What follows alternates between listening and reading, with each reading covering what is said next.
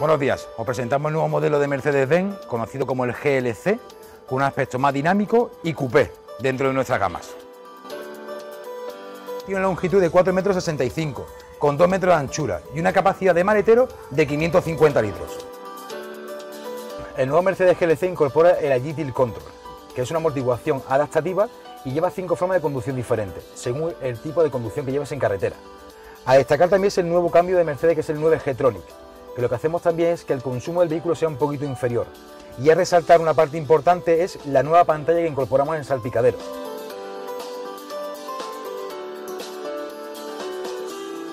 El nuevo Mercedes GLC incorpora la opción del portón trasero Easy Park, que consiste que automáticamente de la llave se pueda abrir el portón y sea más fácil el acceso al maletero.